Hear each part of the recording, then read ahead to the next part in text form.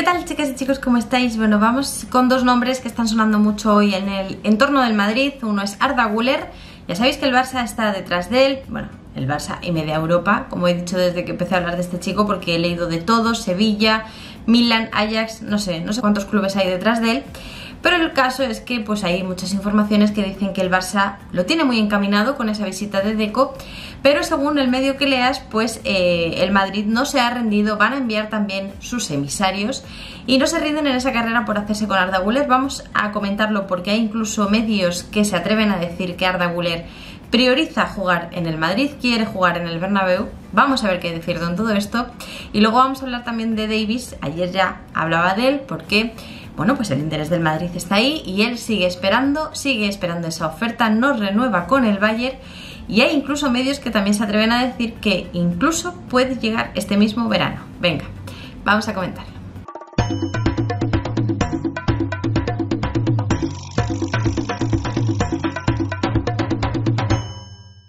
Bueno, pues hablando de Davis, ayer mismo hablaba de él porque salía una información, eh, me parece que era de marca, del Sport, no recuerdo ahora mismo, pero el caso es que en esa información se decía que Davis se negaba a renovar con el Bayern, no se, eh, bueno, decidía renovar con ellos y la razón principal era que seguían esperando al Madrid, que siguen él y su agente esperando a que el Madrid mueva ficha y pueda presentar una oferta por él para venir a jugar a Madrid. Em, esto es algo que incluso en esa información decía que se estaba que estaba enfadando a los dirigentes del Bayern porque de alguna manera sentían que eh, estaba jugando a dos bandas o que estaban utilizando al Bayern para fichar por el Madrid, cualquier tontería de estas, pero el caso es que, eh, bueno, pues el Madrid de momento no ha movido ficha, ya sabéis que, vamos, yo creo que es a la espera de ver qué pasa con ese posible fichaje de Mbappé, en función de la necesidad económica, en función de determinadas pujas que haya que hacer, gastos, inversiones y demás, supongo que estarán esperando para ver es cuál es la inversión que hay que hacer en ese fichaje de Mbappé este verano, cuál es esa posibilidad y a partir de ahí ver si hay posibilidad de hacer algo más o no. Eh, aún así, es un fichaje muy complicado porque es un jugador muy joven, muy bueno, que tiene contrato hasta 2025, ni siquiera acaba en el año que viene como otros jugadores donde la posibilidad de los clubes de venderles es ahora o nunca. En el caso de eh, Alfonso Davis no es eh, este, porque tiene contrato hasta 2025, por lo tanto es un precio astronómico, disparado y muy, muy complicado.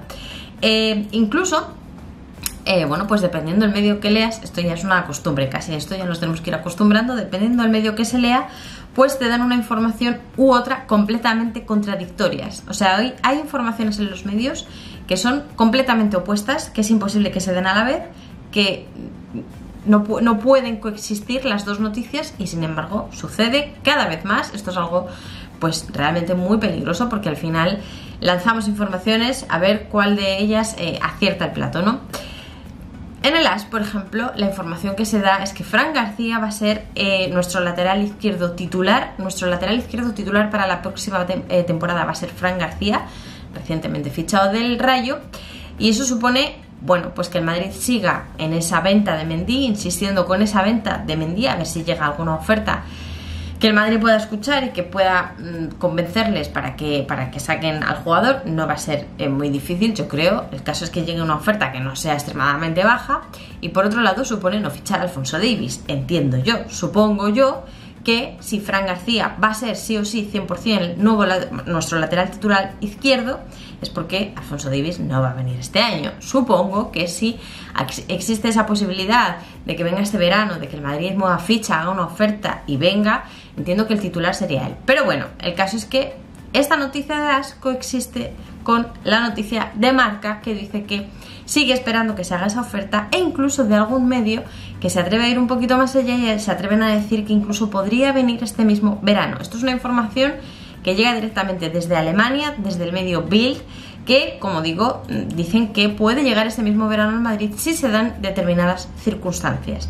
Las circunstancias son que hagan una oferta al Madrid y que el Bayern vea que es una oferta que les convence y que les satisface, ¿no? Evidentemente no va a ser a cualquier precio, no va a ser cualquier oferta porque ni se quieren deshacer de él, ni les corre prisa, ni termina contrato el año que viene, por lo tanto estamos hablando de un precio muy importante Y ahí es donde está la dificultad. De hecho, la propia información de marca que dice que Alfonso Davis sigue esperando que el Madrid haga una oferta por él y mientras tanto está alargando la renovación y no está renovando para que el Madrid haga esa oferta, dice que el propio Alfonso Davis es consciente de lo difícil que es que venga este mismo verano al Madrid por su precio. Otra cosa es el año que viene si no firma ninguna renovación, si nos plantamos en verano del año que viene y ya solo le queda un año de contrato, esa vez sí, el Bayern sabe que es la única oportunidad que tiene de sacar dinero con esa venta porque el jugador no renueve y entonces sí que sería bueno, algo más sencillo traerle con un precio un poco más asequible. Yo creo que siempre lo he pensado, ¿eh? que es muy complicado, pero por el dinero que van a pedir por él y al final pues lo que dice Marca esto ya sabéis cómo va, pues es que Davis también es consciente de la dificultad por el precio. El caso es que el muchacho sigue esperando, sigue sin renovar, sigue sin firmar y a ver si hay suerte y el Madrid se lanza a hacer alguna oferta. Supongo que hasta que no se resuelva el otro asunto que nos tiene pendientes de París, pues de momento el Madrid está un poco en stand-by con respecto a cualquier otro posible fichaje, ¿no?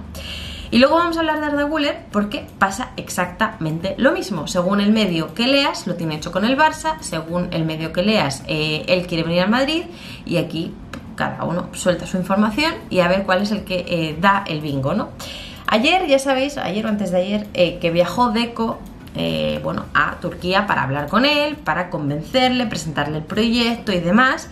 Muchas informaciones decían que vino con muy buenas sensaciones de allí y que, bueno, pues prácticamente ya estaba hecho, ¿vale? Que habían convencido a Guller para firmar por el Barça, eh, que incluso la intención del Barça era dejarle cedido un año más en el Fenerbahce, pero todo ok, todo perfecto. Bueno, pues eh, hay otras informaciones que dicen que Nanay, que aquí no hay nada acordado, que es verdad que existió esa reunión, pero que no hay nada decidido, no hay nada acordado y que eh, tanto el jugador como su familia quieren considerar todas las opciones posibles. A mí me da que se están subiendo un poco a la esta familia también, pero bueno, como también es una cosa que se suele ver mucho últimamente, que eh, pues jugadores y sus propias familias, jugadores muy jóvenes eh, que prometen tantísimo, que tienen tantísima buena pinta, se suben aquí a la parra y se consideran aquí ya mega estrellas un poquito de tranquilidad en esto, por favor, porque esta eh, familia en concreto pues está un poco igual, quieren considerar todas las opciones y ver qué, es lo mejor, como también es lógico, ¿no? Como no puede ser de otra manera.